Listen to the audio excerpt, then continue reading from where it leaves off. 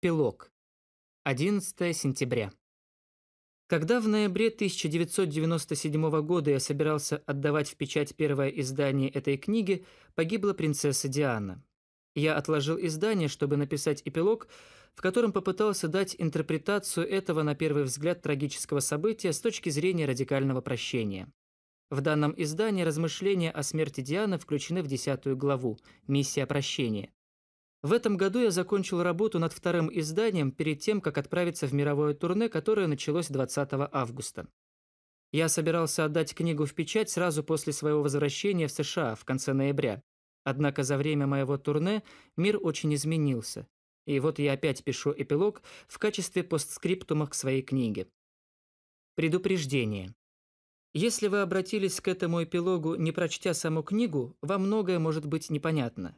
Не исключено, что некоторые вещи даже покажутся нелепыми и обидными. Если вас одолевает любопытство, читайте дальше, но, пожалуйста, постарайтесь не оценивать сказанное ниже, пока не прочтете предыдущие главы. И еще. Постарайтесь, чтобы впечатление об эпилоге не вылилось в предубеждение по поводу всей книги. Ужасные новости настигли нас с Джоанной, когда мы находились в самом центре Австралии, неподалеку от скалы Айр-Рок, ныне Улуру. Мы как раз собирались совершить особую церемонию примирения. Как и все остальные, мы были буквально парализованы случившимся и почти весь день провели перед телевизором.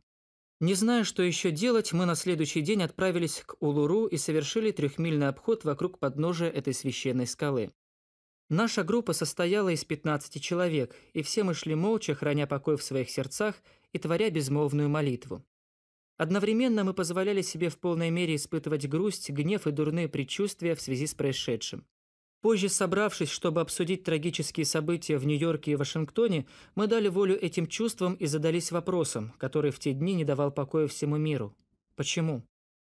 Будучи последователями философии радикального прощения, мы все знали, что ответа на этот вопрос не существует, во всяком случае до тех пор, пока нам недоступна общая духовная картина мироздания. И еще мы знали, что почему – это вопрос жертвы, обрести покой можно только допустив, что любая ситуация обязательно содержит в себе божественное совершенство. Но мы все равно задавали себе эти вопросы, пытаясь найти в случившемся хоть какой-то смысл. Ведь мы, как и все, пребывали в состоянии глубочайшего шока. Потом в течение всего этого тура по Австралии и Новой Зеландии меня постоянно просили истолковать события 11 сентября с точки зрения радикального прощения. Мои знакомые в США тоже просили меня написать по этому поводу статью для публикации в каком-нибудь журнале или для размещения в интернете, но я не спешил. Было еще слишком рано. Я всегда отмечал, что радикальное прощение не является кризисной техникой и бесполезно говорить человеку о божественном совершенстве ситуации, пока еще слишком остра боль от случившегося. Поступать так значит нарушать естественный ход процесса радикального прощения, опуская вторую, самую важную стадию – переживание чувств. Тем самым я бы, несомненно, нанес обиду людям, которые в тот день потеряли близких и еще не оправились от боли. Им нужно наше сострадание и поддержка, а не духовное решение. Преждевременные духовные решения – любимая уловка людей, которые используют духовность для того, чтобы спрятаться от собственных чувств. Это не более чем духовно обходной маневр, дело совершенно бесполезное. Сила для исцеления и трансформации приходит с полноценным опытом жизни на уровне чувств, а не с объяснениями. Даже радикальное прощение превращается в жалкую пародию на себя же, если вся наша работа сводится к попыткам объяснить необъяснимое. Однако нельзя сказать, что не было очевидно, будто это событие и все, что оно могло за собой повлечь, было для нас прекрасной возможностью исцелиться и по-новому проявить себя в мире. И нельзя сказать, что Вселенная не дала нам своих обычных подсказок, что и в этой непростой ситуации работал дух и присутствовала любовь. Работая над эпилогом о смерти принцессы Дианы, я старался предложить читателю разумную интерпретацию случившегося в свете представления о духовной миссии человека. В случае событий 11 сентября я не готов предпринять такую попытку. Дело не только в том, что еще слишком рано. Честно говоря, у меня пока просто нет приемлемого объяснения этих событий. И в отличие от смерти принцессы Дианы, это не изолированные события. К тому же они пока еще не завершились. Они еще разворачиваются. Возможно, на каком-то этапе ко мне придет прозрение, как это было в случае Дианы. Тогда, если будет уместно, я вернусь к этой теме. Возможно, даже напишу книгу, поскольку уверен, что когда падет завеса, заслоняющая от нас суть событий 11 сентября, окажется, что эта история полна глубочайшего смысла. Не исключено, что речь идет о выживании человечества или даже всей планеты. Я полагаю, что на кон поставлено никак не меньше и уверен, что обязательно еще вернусь к этой теме. Однако пока мне приходится ограничиться тем, чтобы сделать то, что я сам проповедую. Иными словами, я отказываюсь от потребности разбираться, что к чему, или выдумывать историю, которая помогла бы мне считать себя хорошим, уловки эго, и обращаясь к уместному в данном случае инструменту радикального прощения «Четыре шага к радикальному прощению». Смотрите главу 22. Ниже я показываю, как, используя этот инструмент, мы можем изменить энергию вокруг ситуации 11 сентября. Использование четырехшагового процесса применительно к событиям 11 сентября. Четырехшаговый процесс – это инструмент, помогающий нам не попасть в страну жертв. Данный инструмент следует использовать в тот момент, когда происходит что-то плохое, чтобы не оказаться вовлеченным в драматическую ситуацию слишком сильно и не забыть истину. Хотя процесс подробно описан в 22 главе, я сопровождаю каждый шаг кратким объяснением, после чего следует пример внутреннего монолога для каждого из этапов. Знайте, что даже когда вы просто читаете этот текст, энергия вокруг ситуации изменяется. Возможно, вы этого не почувствуете, но я ручаюсь, просто уделив внимание этому процессу и своим чувствам, вы тем самым внесете свой вклад в исцеление мира. Спасибо вам за это. Шаг первый. Смотри-ка, что я сотворил. Один из духовных принципов, и спешу заметить, он находит подтверждение в современной квантовой теории и других областях науки, состоит в том, что все происходящее во внешнем мире является отображением нашего сознания. Говоря себе «смотри-ка, что я сотворил», человек тем самым допускает, что он причастен к созданию текущей ситуации и что она необходима для его исцеления или духовного роста. Это первый шаг по направлению к тому, чтобы в определенной мере взять на себя ответственность за то, что происходит в нашей жизни. «О боже, смотри-ка, что я сотворил! Возможно ли, чтобы я был причастен к этому ужасному злодеянию? А ведь должно быть именно так, поскольку я знаю, что все мы участвуем в создании нашей реальности. Но это... Конечно же, я тут ни при чем. О боже, насколько легче было бы обвинить во всем одного Усаму бен Ладена и считать себя совершенно непричастным к созданию этой ситуации. В конце концов, я не террорист. Во всяком случае, надеюсь, что нет. Я не думаю как террорист, и я никому не причинял бы вреда. Лучше я стану отрицать свою причастность к этим событиям и отправлюсь в страну жертв, буду требовать отмщения и винить всех и вся, включая Америку. А ведь неплохая идея во всем обвинить Америку. Широкое поле для деятельности. Но ведь это только отговорка, разве нет? Несомненно. Винить Америку все равно, что винить Усама бен Ладена. Черт. Но все остальные отрицают свою вину. Почему я должен вести себя сознательнее? Ну ладно, ладно. Допустим, я несу за это ответственность. Ведь я же знаю, что это правда. Я создал эту ситуацию, конечно, вместе со всеми остальными, и я знаю, что для этого были определенные причины. Однако от этого мне не лучше, я полон страха, печали и ярости. Шаг второй. Я вижу свои суждения и люблю себя за то, что они у меня есть. На этом этапе мы признаем и с любовью принимаем свои человеческие качества. Будучи людьми, мы обязательно составляем ряд суждений и оценок относительно всего, что происходит во внешнем мире. Однако понимание этого помогает нам оставаться сознательными, а также сохранять связь со своими чувствами и со своим истинным существом. Я возмущен. Как можно было сделать такое? Гады, фанатики, изуверы. Воплощение зла. Мы должны призвать их к ответу, а лучше просто убить. Как можно было допустить такое? В ЦРУ покатятся головы, это уж точно. Нужно найти и убить Усама бен Ладена. Он грязное животное. Уф, ну и суждение. Однако я не осуждаю себя за них, хотя и понимаю, что ничего хорошего в них нет. На самом деле, даже наоборот, я люблю себя за то, что испытываю жажду мщения. Позвольте признаться, я бы с огромным удовольствием отомстил им за то, что они сделали. Да-да, око за око, и это будет справедливо. Вот только бы до них добраться. Хорошо, хорошо. Я, я знаю, что принимаю внешнее проявление вещей слишком близко к сердцу и руководствуюсь архетипом жертвы. Но я ведь тоже человек, правда? И я люблю себя за то, что боюсь нависшей над нами опасности. Что дальше? Сибирская язва, чума, атомная бомба. Меня дрожь пробирает от одной мысли об этом, и я признаю, что напуган. И еще я люблю себя, потому что чувствую вину за то, что причастен к созданию всего этого. Я знаю, что чувство ответственности подразумевает понимание, что мы всегда создаем все ради своего же высшего блага, но я не в силах избавиться от ощущения, что если бы мое сознание было более духовным и чистым, я не создал бы такую реальность. Я создавал бы любовь и свет, мир и гармонию, а не смерть и разрушение. Шаг третий. Я хочу увидеть совершенство в данной ситуации. Здесь мы позволяем себе допустить, что даже в этом, на первый взгляд, ужасном событии присутствует божественное совершенство, и мы увидели бы его, если бы перед нами открылась вся картина. Мы видим и знаем лишь крохотную частичку целого. Наше духовное зрение еще не вполне развито, чтобы видеть всю панораму. Хотя мне кажется, что мы близки к этому, и события 11 сентября помогут нам прозреть окончательно. Все, что нам остается, проявить чуть-чуть желание открыться для возможности, что в ситуации кроется совершенство. В этом сущность радикального прощения. В этом состоит переформулировка ситуации с точки зрения радикального прощения. Однако, подчеркну, это не означает, что мы не должны предпринять все меры, чтобы подобное больше не повторилось.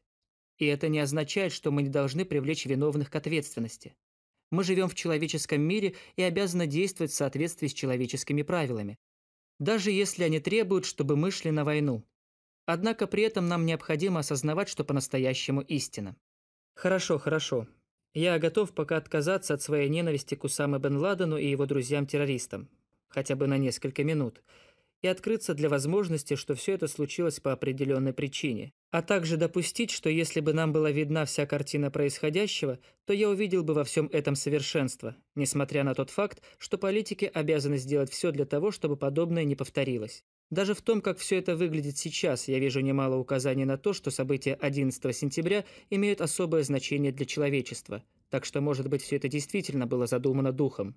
Как душе Иуда было предназначено предать Христа, чтобы он мог исполнить свою миссию, так, возможно, у Сама бен Ладуна было предначертано потрясти человечество, чтобы оно больше не могло закрывать глаза на истину о том, что оно собой представляет на самом деле.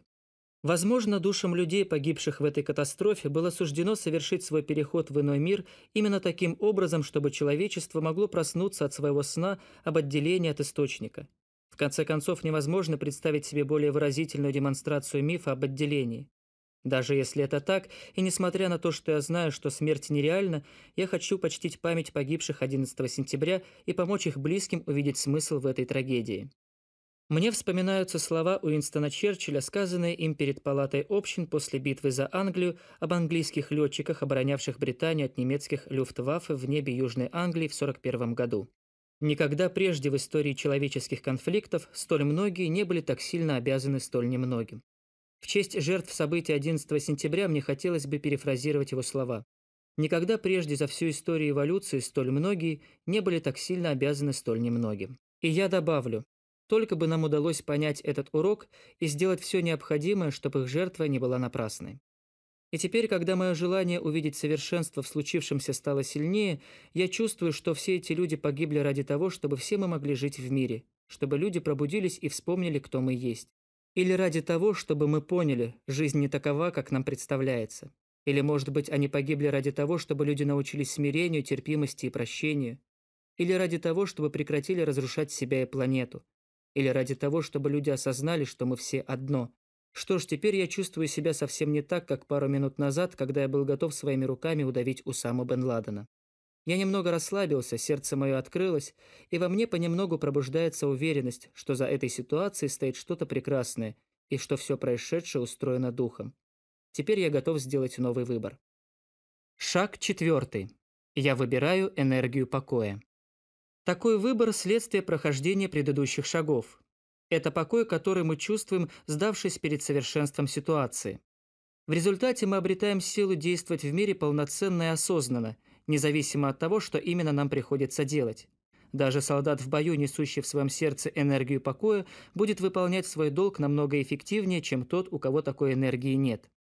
Что бы ни делал человек, пока энергия покоя с ним, он пребывает в состоянии благодати, и тогда он может изменить мир. Хорошо, я выбираю энергию покоя. Я позволяю источнику истинной силы открыться во мне. Это происходит с осознанием, что несмотря на любые свидетельства в пользу обратного, все вокруг подчинено божественному порядку. Я отпускаю свою потребность видеть кого бы то ни было, в частности Усама бен Ладена, за наши горести и боль. Покой приходит с осознанием того, что в общей картине вещей нет добра и зла. Несмотря на то, что живя в человеческом мире я различаю добро и зло – мне не подобает судить людей жестко и без сострадания, поскольку я знаю истину. Мы все духовные существа, добровольно переживающие человеческий опыт, и мы делаем все необходимое, чтобы выполнить свою духовную миссию. Сейчас я чувствую, что эта ситуация полна любви, а мое сердце покоя. Процесс завершен. Он может отнять у вас всего несколько секунд, или, если вы настроены предаться глубоким размышлениям, около часа. Независимо от продолжительности, он окажет сильнейшее влияние на вашу душу и на мир. Ведь, в конце концов, это разновидность молитвы, а молитвы всегда бывают услышаны.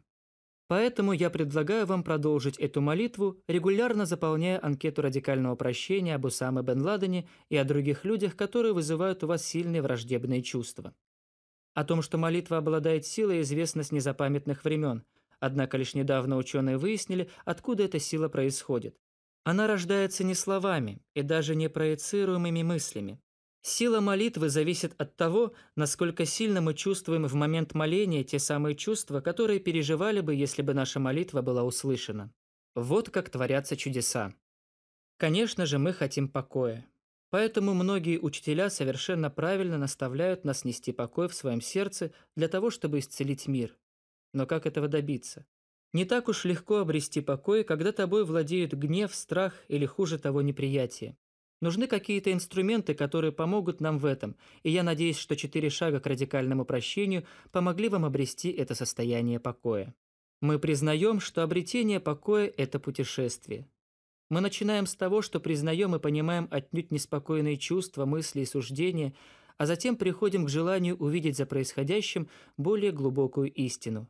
Лишь тогда нам удается ощутить настоящий покой. Тут нужно кое-что прояснить. Покой не означает отсутствие проблем. Он не зависит от определенного исхода дела. Если человек привязан к исходу, он не ощутит покоя. Покой приходит только тогда, когда мы отдаемся во власть Духа и знаем, что все подчинено божественному порядку. Поэтому я хочу завершить этот эпилог молитвой о радикальном прощении и прошу вас нести эту молитву в своих сердцах, пока разворачиваются события, начавшиеся 11 сентября. Молитва. Пусть никогда не поколеблется в нас знание о том, что все на свете подчинено божественному порядку и происходит в соответствии с божественным замыслом. Так было, есть и будет всегда. И пусть дано нам будет искренне смириться с этой истиной, независимо от того, понимаем мы ее или нет.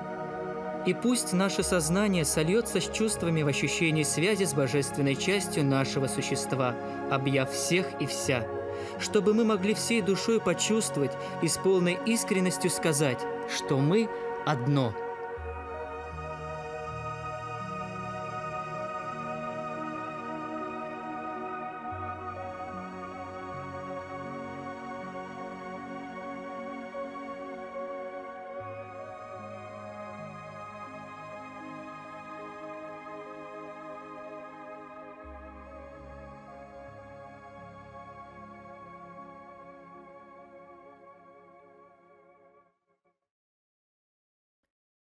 Вы прослушали книгу Колина Типпинга «Радикальное прощение». Текст читали Кабидов Артем, Екатерина Струкова, Михаил Самохвалов. Если вам нравится эта аудиокнига, то поставьте лайк или оставьте комментарий. Это позволит наибольшему количеству людей познакомиться с этим удивительным методом. А если вы хотите перейти от слов к делу, то получите бесплатный базовый набор анкет радикального прощения для трансформации и начните менять свою жизнь к лучшему. Ссылка на анкеты находится под этим видео.